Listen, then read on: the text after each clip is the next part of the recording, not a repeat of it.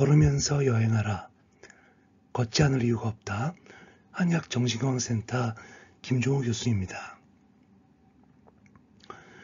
마흔 넘어 걷기 여행 저의 첫 번째 여행 에세이였습니다. 이 책에서 전하고 싶었던 메시지는 두 가지였습니다. 첫째는 시간이 주어졌을 때 여행을 가자입니다.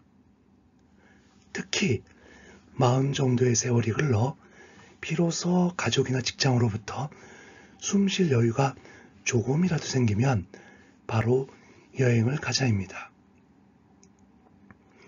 여행을 통하여 자신의 원래 리듬, 자신이 추구하는 리듬으로 자신을 만들어 보는 작업입니다.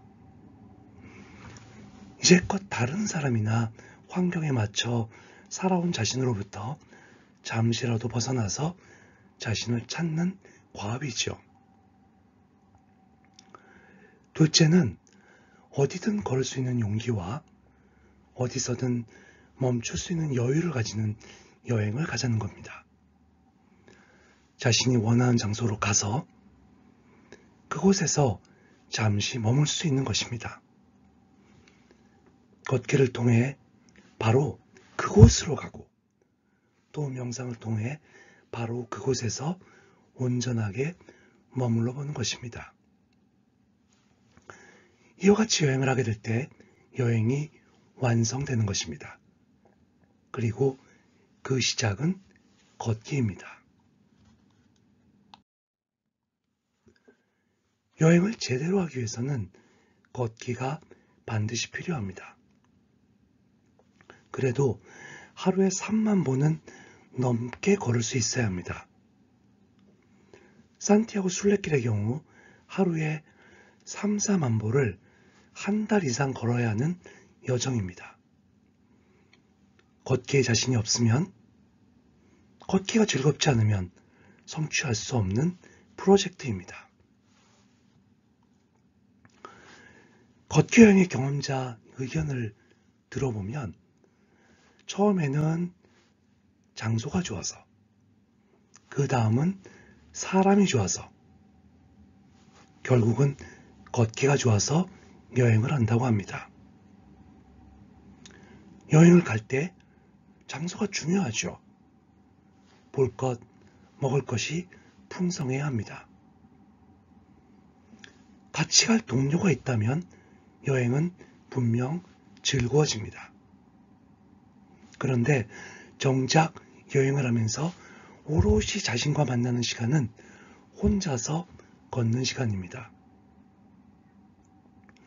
그토록 원했던 자신과의 대화가 시작이 되는 것이고 멋진 풍경과 느낌이 자신의 것이 됩니다. 자연과 하나가 되는 것이죠.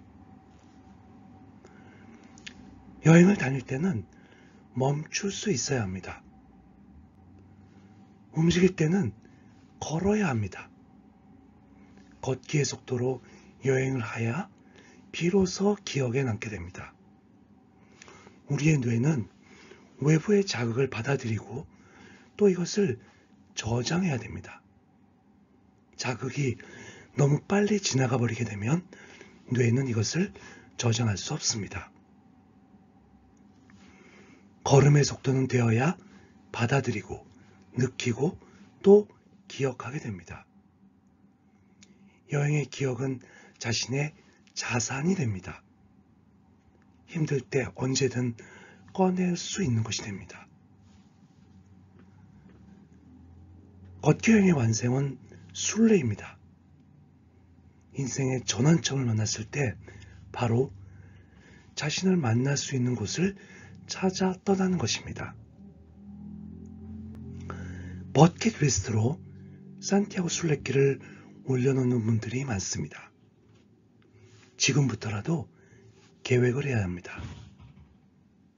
그리고 마음이 움직일 때 행동으로 옮기면 됩니다. 퇴직을 하거나 자녀를 출가시키거나 학교를 졸업하거나 등등 자신의 삶의 변곡점을 만났을 때 떠날 수 있기를 바랍니다.